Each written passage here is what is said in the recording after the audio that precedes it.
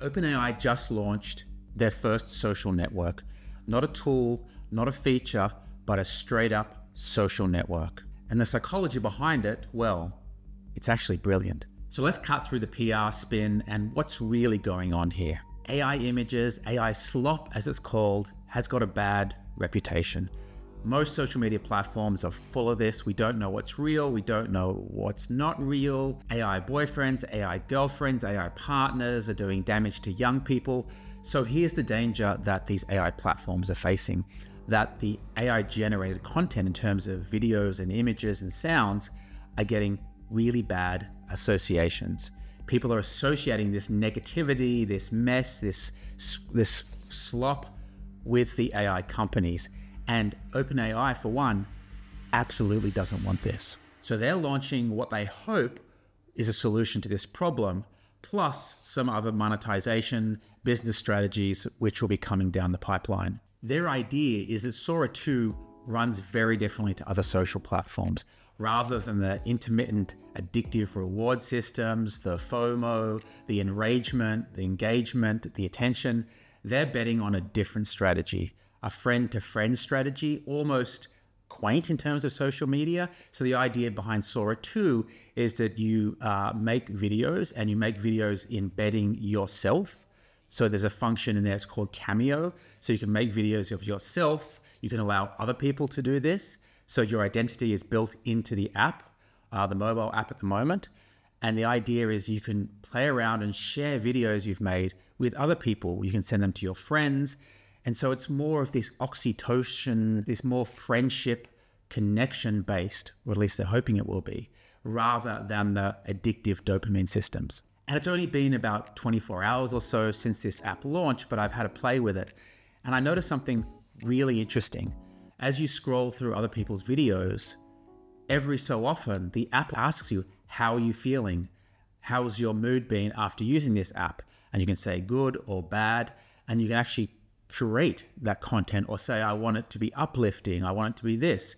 So they're actively checking in with how the app and the content is making people feel, which is really interesting. I've never seen anything like that on a social platform before. So they want to tune the content to keep you in a positive mood. Why? Because they want the positive association with AI output, with AI images and AI video.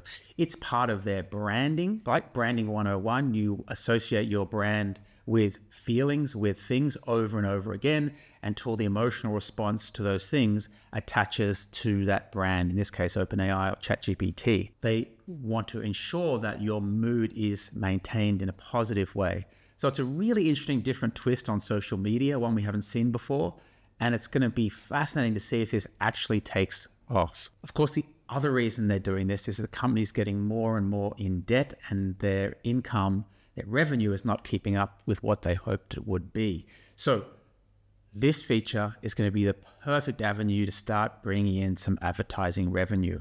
And I think we'll see this by the end of the year or early next year, 2026. We'll see some forms of advertising creeping into this social uh, Sora 2 platform. So you've had a chance to play with this Sora 2 platform. Tell me what you think. Do you enjoy seeing content that is 100% AI generated?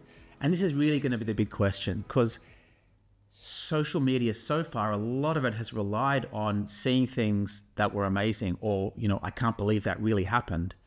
And we knew that if we saw the video, it meant that that had happened out in the real world. Now, on any platform, that's no longer the case. And particularly on Sora 2, that's absolutely, definitely not the case. So I'm really curious from you guys if you had a chance to play with it. If you haven't, do you think you're going to be engaged by 100% synthetic content, even if it looks real, if you've had a chance to play with it, tell me, were you engaged? Or was it more like some people react to video games because it's all synthetic, it's not real, they don't get engaged as much?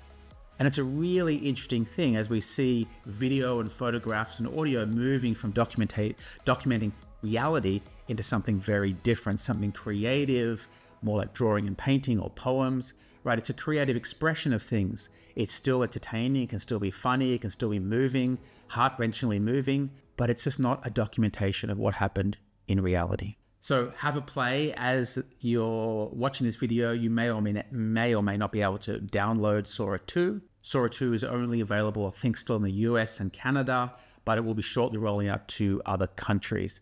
Um, I've had a play with a cameo feature trying to generate videos of me. So far, it hasn't been that impressive. It's we've done weird things to my accent. One video, it gave me a weird kind of Austrian accent.